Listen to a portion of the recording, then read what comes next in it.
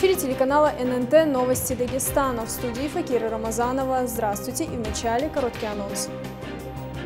Дорогая ипотека. В Дагестане ставка по кредиту на жилье превысила 9%.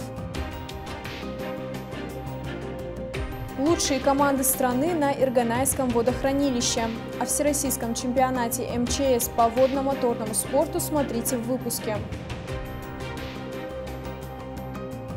Взяли под опеку. Представители благотворительного фонда «Инсан» навестили девятилетнего Рамазана, который проходит курс лечения в онкологическом отделении.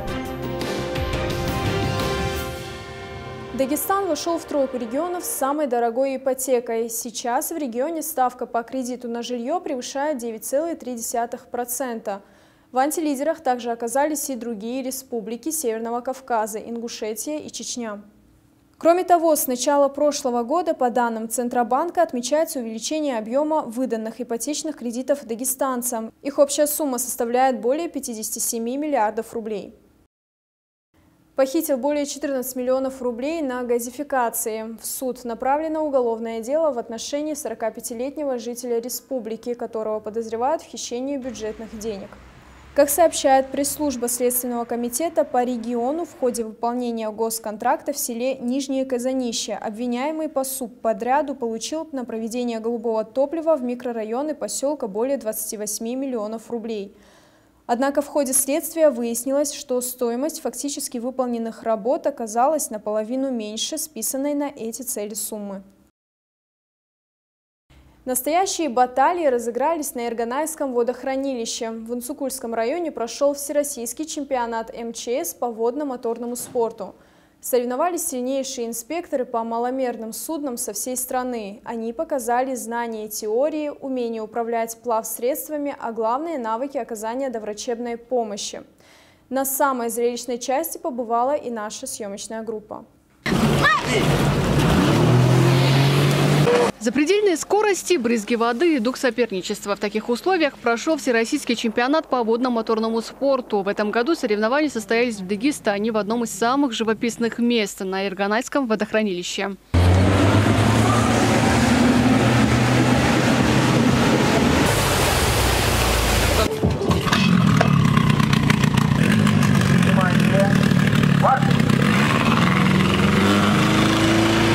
Катера, байдарки, гидроциклы. В ловкости и быстроте участники соревновались на разнообразных маломерных суднах. В чемпионате 8 команд победителей из разных федеральных округов. Здесь собрались те, для кого ежедневное патрулирование рек и озер – обычная работа. По итогам всех пяти этапов первое место заняла сборная из Якутии. В этом году мы стали чемпионами.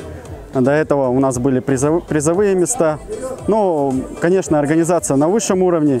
Э, люди здесь э, дружелюбные, э, гостеприимные, встретили, все, все отлично. Главное на таких соревнованиях – это время. В некоторых экстремальных ситуациях все решают доли секунды. Единственное отличие сегодня для спасателей – счет шел на конкурсные минуты, а в реальной обстановке на кону часто бывает человеческая жизнь. Патимат Ханапова, Магомед Магомедов, Новости ННТ, Унцукульский район.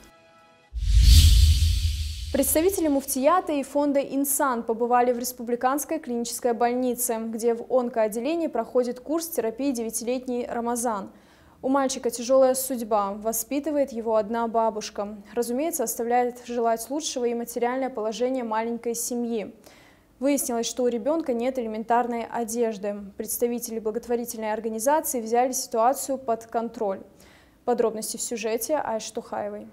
На стене фотографии детей, которые вылечились. Лица тех, кто не выжил, в сердцах каждого медработника. Они помнят их, сколько бы лет ни прошло. 10, 15, 20. До сих пор утирают слезу, вспоминая детей, которые уже больше, чем свои. Ребенок, попадающий в онкоотделение, проживает изолированную жизнь наедине с болезнью. Он оторван от школьного коллектива, детского садика. Он постоянно окружен этими проводами, а, всякими дренажами, а, капельницами, и ему приходится привыкать и жить в, такой, в таком состоянии два года, когда мы боремся. И поэтому, конечно, конечно, когда попадают в наше отделение такие детишки, у которых э, неполноценные семьи, или же родители разводятся, когда узнают, что ребенок заболел таким тяжелым заболеванием. Многие папы бросают таких женщин, уходят. Это большое горе. И этому малышу очень тяжело. Максимальная поддержка и тепло – то, что необходимо таким детям. Материнская любовь и забота не достались Рамазану, пациенту отделения. Даже когда в жизни появился страшный диагноз – острый лимфобластный лейкоз, мамы не было рядом. Она не отвечает на звонки, где она, как она живет, что с ней происходит, не знает никто. Она была два дня здесь, и из-за того, что она оставляла этого ребенка и уходила из клиники, и все это делалось по ночам, я ее поругала, очень сильно пригласила к себе в кабинет, и очень жесткий разговор был. И когда Рамазанчик узнал о том, что я поговорила с мамой так, он зашел ко мне и говорит, не ругайте мою мамочку, я ее очень люблю. А скучаешь по маме?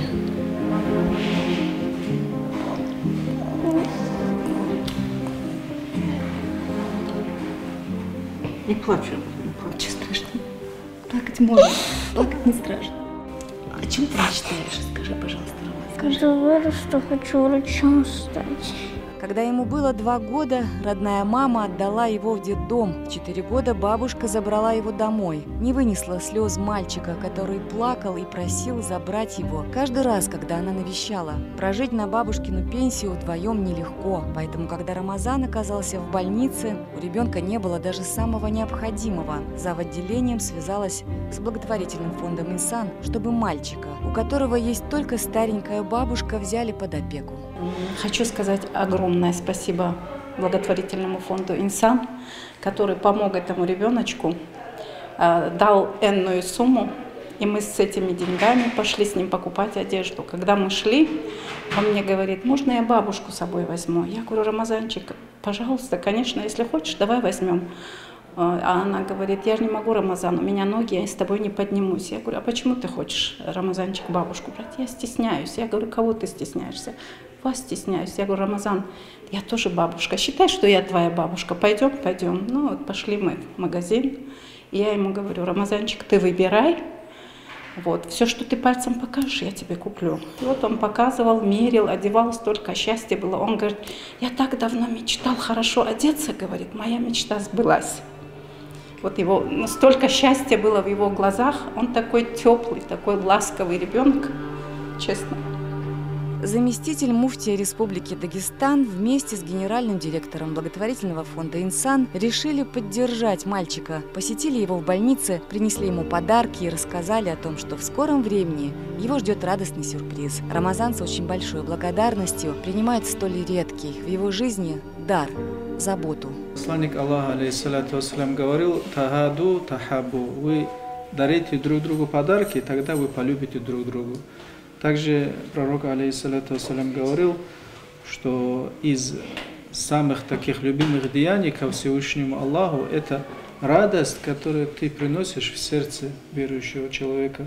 Вот мы тоже решили немножко обрадовать нашего Рамазана, сделал небольшие подарки, и чтобы Всевышний помог, облегчил и исцелил его. Сейчас у него быстрее выздоровление пойдет. У него машинка, сейчас смотрите, какая игра хорошая. Ты же любишь сюрпризы, Рамазан?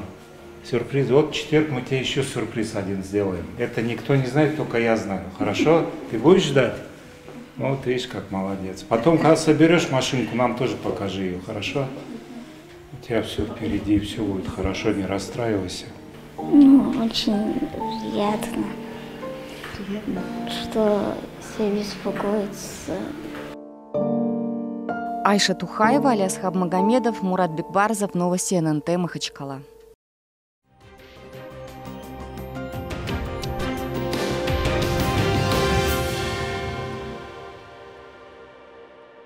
И в заключение о спорте. Сборная Дагестана по 3D-стрельбе из лука стала обладателем Кубка России, прошедшего в Бурятии. После четырех отборочных этапов розыгрыша турнира в финал попали 24 лучших участника со всей страны. Из них пятеро – дагестанцы.